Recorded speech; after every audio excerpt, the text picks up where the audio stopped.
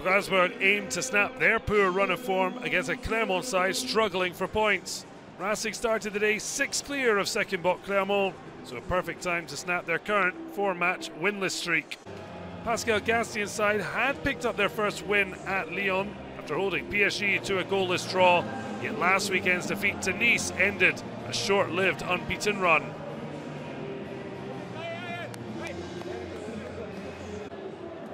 The coaches, young and old, showing their appreciation.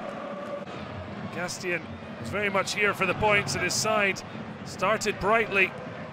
His son Johan swung the ball out to Jim Allevinah. Only Achraf Hakimi has covered more ground while in possession. The Gabon international with a wicked delivery. Shamar Nicholson might have been better in the six yard box. Florent Ogier got a nudge. Clermont captain complaining, but his teammates got on with it. Mohamed Cham swinging the ball out to the flank. Allevinah seeing plenty of the ball. He played it back to the Austrian. Lovely angled pass. Terrific goalkeeping, Matz Sels closing down the angle. Frustration for Cham. Goals have been an issue for Clermont. Lanciers had won just one of their nine league games in 23-24 season, having won eight of the last 10 last season. And yet presses Strasbourg, but the league's lowest scorers unable to find a breakthrough. Elbasan Rashani then tried his luck.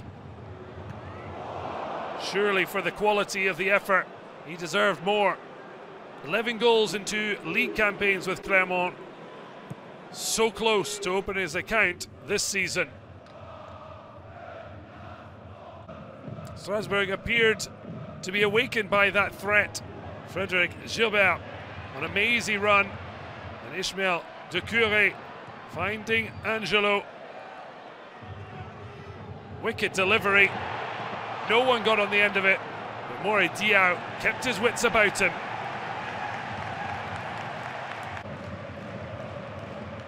No one getting a touch. Diaw focused, pushing away to safety. Marvin Senaya then linking Junior Mwanga just with the final finish. Borges putting some pressure on, but Mory again with a stunning save. This one even better. Well, the deadlock looked to have finally been broken. Strasbourg growing stronger as the match wore on. Strike from distance, pushed out into the danger zone. And then it would have been an own goal. But Borges surviving. Kevin Gameiro with the initial thumping effort. Emmanuel Emegha was just the slenderest of shirts offside. Well, the ref having a joke and a laugh. That was it to continue with the more serious business of sending off Marvin Senaya. A clear tug with Clermont breaking.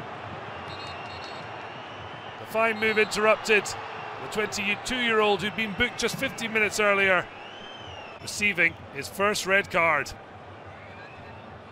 Jim Allevinah down in his prime. But despite going down to 10, Clermont couldn't use the advantage. Patrick Vieira overseeing a first goalless draw, the first Strasbourg have suffered in just over a year, also against Clermont. Mory Diaw's shirt, a prized present, and a battling away point, but Les Lanciers still in the bottom two.